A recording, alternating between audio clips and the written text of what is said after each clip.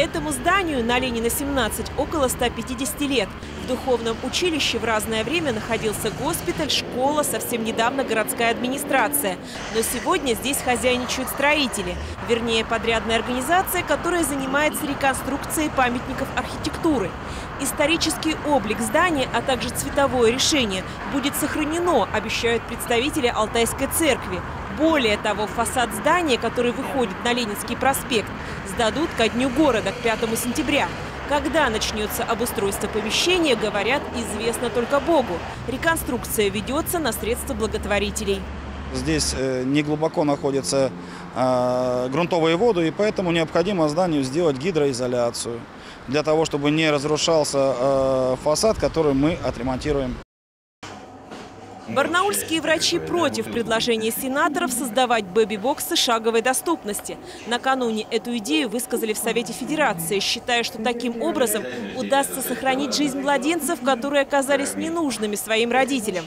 Между тем, уполномоченный при президенте страны по правам ребенка Павел Астахов, а также многие педиатры уверены, от этой инициативы больше вреда, чем пользы.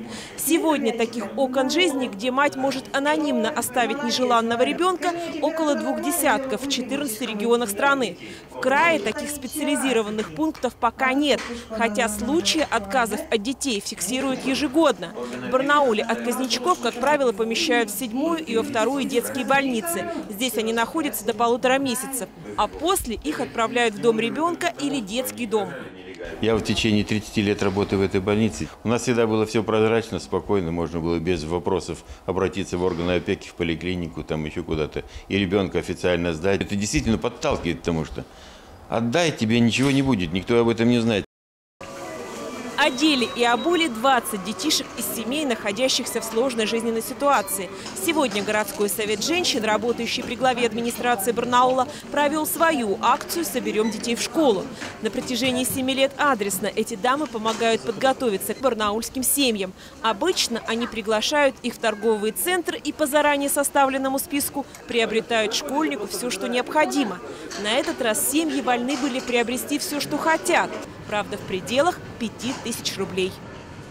Ольга Калачева, Александр Морозов, Павел Лауренин. Информационный канал «Город».